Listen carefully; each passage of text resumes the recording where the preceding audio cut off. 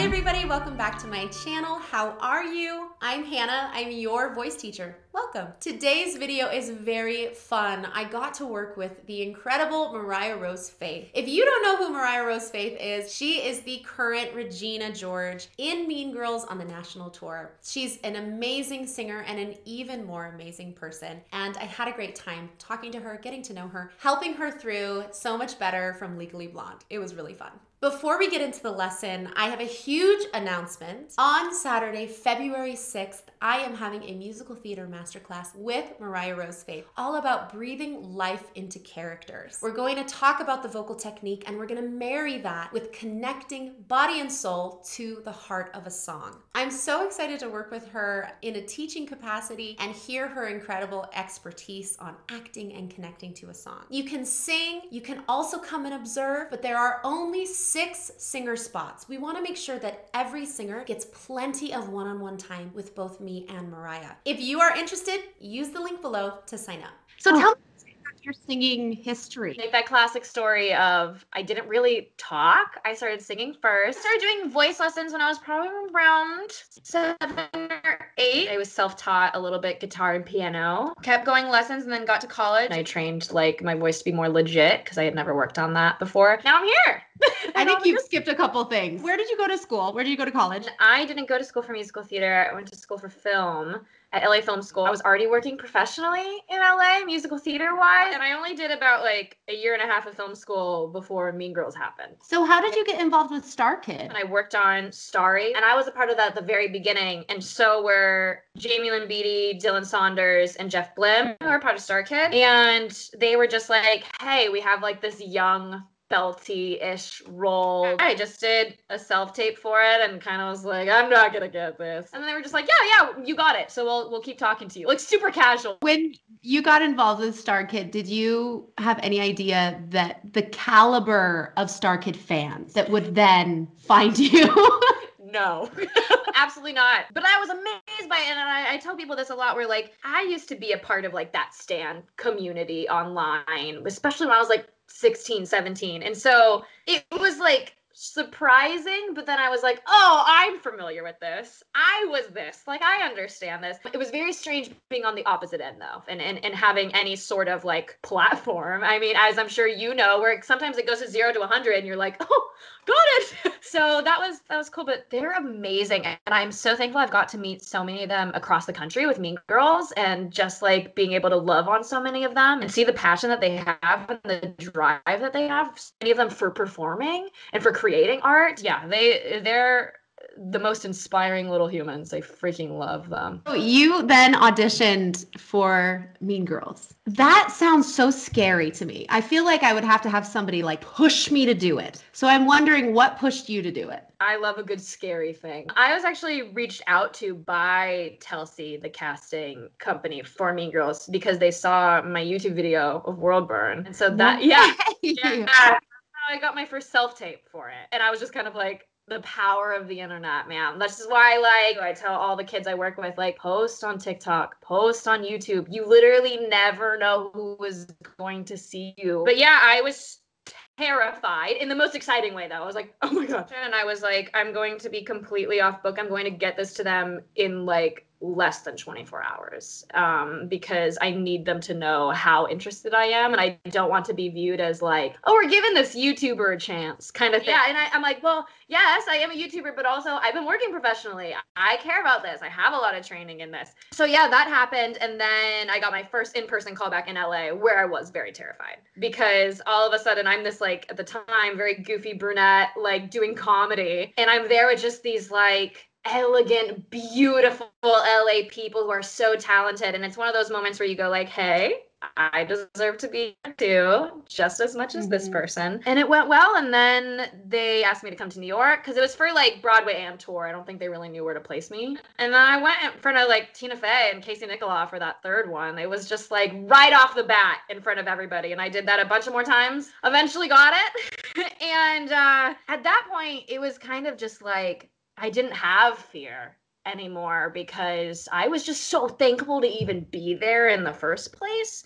It felt mm-hmm. like all of that so far behind me because I was just like, I can't even believe I'm in the room with Lorne Michaels. You know, it's like that's just silly. Yeah. But yeah, it was, ma- it was definitely one of those magic moments for Oh sure. gosh, it's so incredible. It's good to mention that it took a while. You hear of these stories where you audition and you get offered the job that night, and then the next day you're, you're in rehearsals. But often it's a long process. That's really incredible. That's such a great point too. What you're talking about, like the the rarity of um here's the role that offering that you get because it really is this double life that you have when you're in auditions for that long because it's like your real life is still going but then you're still on the like am i going to play this role? I don't know. I'm still in the mix of it all. So it's when you finally get it it's just like okay i got it everybody. We did it. I love that you got that first initial call based on a cover. That's so cool. I mean, we really are transitioning into like a brand new world of theater. there's a moment where you go, okay, I have to prove myself. Mm-hmm. And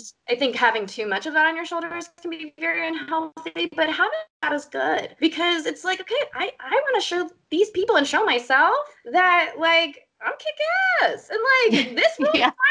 Cool, you know? So vocally, what do you feel like is the hardest song slash moment in the show for you? It's just finding good vocal stability and someone gets hurt because there's so much going on. I love a good park and bark. Like let me stand on the stage and get my belt going, you know? Again, like my heels are this freaking tall and I'm getting flipped upside down and I'm wearing barely any clothes. And so there's all this like other stuff happening where there have been times vocally where I'm like I could feel my voice being shaky because I am focusing on these other things. Eventually like, you know, after you do it a hundred times, you can kind of go into that place where it's like I got to let go about this other stuff I'm focusing on and trust the rhythm of what I'm doing. And I started thinking more about the support in my voice. And I was like, let's support there. You're to be able to walk across the stage in these heels. You don't need to find that support as much anymore. We did like a Regina um, Q&A on Broadway Plus with Renee and Taylor as well. And we had all kind of said the same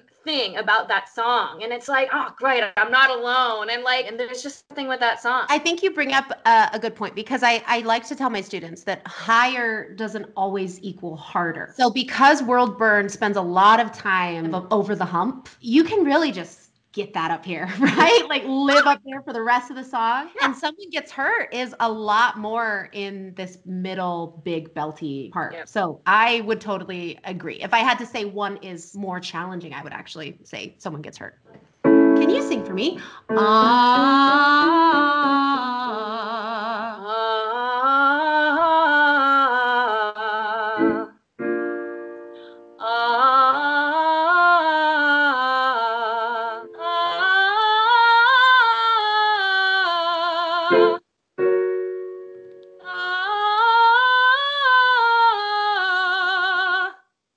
Congratulations. That's the scariest part. Good job.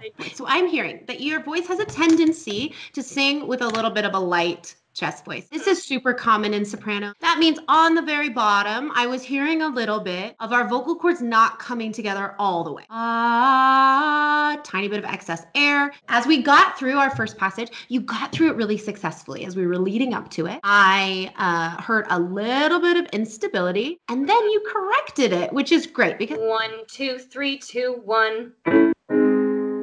One, two, three, two, one. One, two, three, two, one. There's our chest voice. Easy as that. And I want you to feel like we're still talking from bottom to the top. Bip, bip, bip, bip, bip, bip. Bip, bip, bip, bip, bip, bip, bip. I'm hearing Beb. Can you make it? Bip, bip, bip, bip, bip, bip, bip, bip, bip. Mhm. Bip, bip, bip, bip, bip, bip, bip, bip, bip, bip, repeat on the top. Bip, bip, bip, bip, bip, bip, bip, bip, bip. Bip, bip, bip, bip, bip, bip, bip, bip, bip, bip. Bip, bip, bip, bip, bip, bip, bip, bip, bip, bip. Great job. We're going to add a little thing on the top called the cry. I'm going to think bip, bip, bip. A little sad. Bip,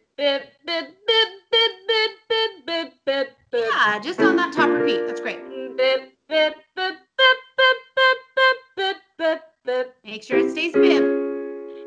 Bip, bip, bip, bip, bip, bip, bip, bip, bip, Great job. So with I, making it just a little bit more narrow, that helps us get through our first passage a little bit easier. The cry is going to be your new best friend. Basically, what the cry does is it gives us a little bit more resistance. So makes our vocal cords come together a little stronger. We want to work smarter, not harder, especially if you're doing eight shows a week. Mum, mum,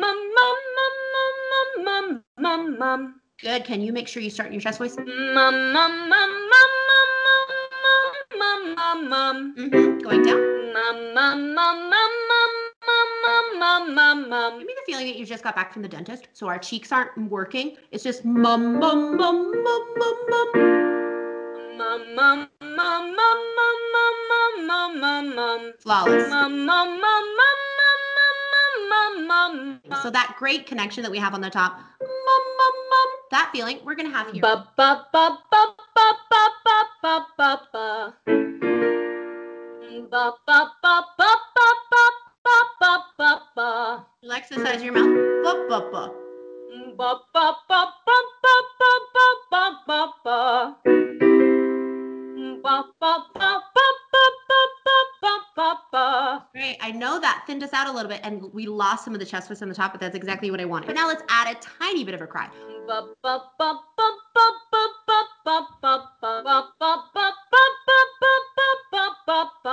We're gonna do a nya nya nya with a Y, really nasty. And with the nya, we wanna make it really tiny feeling. Nya nya nya nya nya nya nya nya.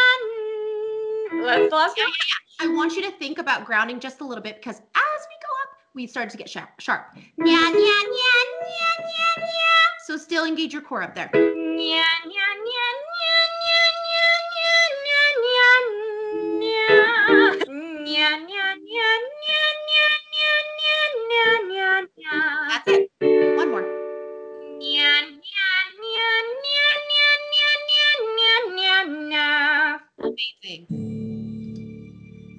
of this time I planned I'd be patient and you would love me again. You'd come to respect my mind, and at last you'd find you can love me again. And I have turned my whole world upside down, trying not to let you go. Watching you walk away is like a fatal blow. Whoa! Is that my name up on that list? Does someone know that I exist? Is this some mistake? Am I even awake? Pinch me now to make sure. I mean, you sound fantastic. So from the beginning, I want us to think about Sad Elle. So not her normal, like bubbly, happy voice. In my chest voice, a little bit more. Mm, all of this time I planned I'd be patient and you can love me again. So now you can take exactly that amount of chest voice, smooth it out a little bit. Let's make it a little bit more legato. All of this time I planned I'd be patient and you can love me again. Yes, I love that. So the entire song, we have to stay very grounded. Or we're going to start, larynx is going to start rising, and we might start even going a little sharp. That's what happens when that rises. So when you get into, is that my name upon that list? I want to think engaging my core. You know, I feel the weight of my body in my seat so that I'm not up here. Is that my name upon that list? That doesn't necessarily sound bad at all, but it's not sustainable for this the next 13 years. I'll be there on Monday, nine o'clock. Then we will see who walks the walk. No, no, I can't wait. I will be there at eight when they unlock the door.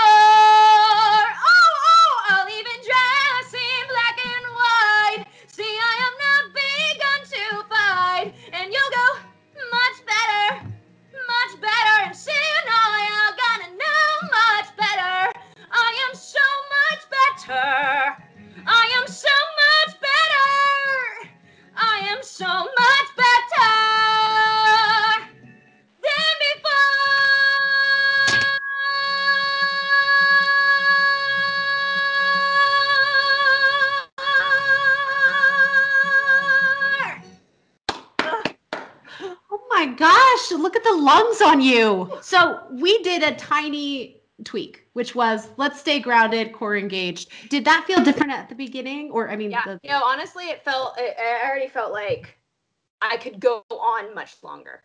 Like Yeah. just from that, just from that tweak. and what we really just have to remember is that everybody's chest voice sounds different. Chest voice is just the fullness of our vocal folds. Where am I talking right now? One, two, three. One, two, three, two, one. There's my chest voice. If I want that to be strong, I have to have the bottom to be strong Yes, too. you know? totally. So at the very end, I think you did that really well. So it was then the th. It was more of like an uh vowel, and it just gave you so much more strength. As we went through, I could tell we were losing steam on that note. So what I want us to think about, if we are actually going to hold this for seven measures, we're going to feel like our our core is engaged and that we have a little bit of that cry. So I Yeah. no vibrato until the very very end because that makes us I mean that takes a lot of air. Before and you're going to feel like you're leading into that. So my core is very gently kind of as if I'm wearing a corset, very gently squeezing here. Yes. I'll even dress in black and white. See, I have